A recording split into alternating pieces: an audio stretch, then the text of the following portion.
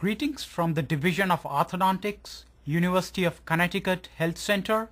Hi, I am Sumit Yadav, Assistant Professor, Division of Orthodontics, University of Connecticut Health Center. Hello, I am Madhur Upadhyay, Assistant Clinical Professor, Division of Orthodontics, Department of Craniofacial Sciences, University of Connecticut. Sumit.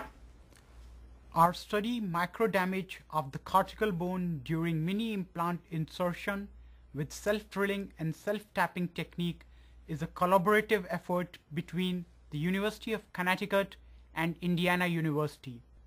Our hypothesis was that mini implant insertion technique would have no influence on the microcrack accumulation and propagation in the cortical bone of maxilla and mandible. It was our intention to create evidence for clinician regarding a better insertion technique for mini implants. The materials and methods. Nine adult male hounds were selected for the study.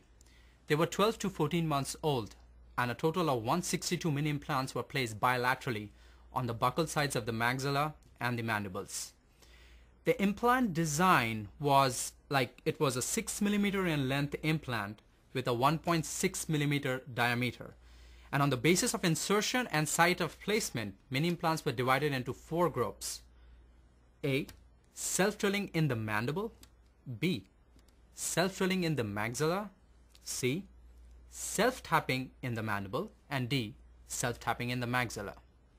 The maxilla and mandible of the hounds were dissected into separate bone blocks containing the mini implant with about 5 millimeter of adjacent supporting bone. Sections were stained with basic fuchsin and were grounded using an EXAKT grinder to attain the desired thickness of approximately 50 to 70 micrometer. Histomorphometric parameters, microcrack length and crack surface density were evaluated using bioquant image analysis. The results of our study showed on an average 200 micrometer to 300 micrometer of diffuse damage of the cortical bone adjacent to mini implant was present on the either side of the implant in both the groups. Microdamage in the form of discontinuities was observed in all the specimens both in maxilla and mandible. Our third finding showed that in both the maxilla and mandible, the crack length and the crack surface density was significantly higher for the self-drilling technique compared with self-tapping technique. Well, now interpreting the results that we got. First of all, the null hypothesis was rejected in favor of an alternate hypothesis that the self-drilling technique results in more microdamage, that is microcracks, accumulation in the adjacent cortical bone for both the maxilla and the mandible immediately after mini implant placement. Secondly, our results showed no difference in microdamage between the maxilla and the mandible with either insertion techniques. And thirdly, microcracks have been investigated as a parameter that simultaneously affects the mechanical and structural properties of cortical bone as well as its toughness. Recent studies in the literature have shown that linear microcracks and diffuse damage have differential biomechanical responses and outcomes.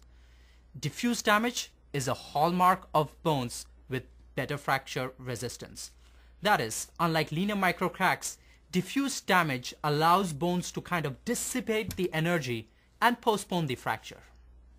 So our study showed that the self-drilling techniques caused greater microdamage of the surrounding bone immediately after the placement of mini implant. So the, and the take home message is does microcracks accumulation jeopardizes the primary stability of the mini implants? Does microcracks leads to remodeling of the bone at the same time? In the maxilla, the mini implant comes in contact both with the trabecular and the cortical bone and they have a different remodeling rate. So I'm, I'm, I would like to conclude by saying that clinicians have to be very cautious in how they interpret the results before they translate into the clinical practice.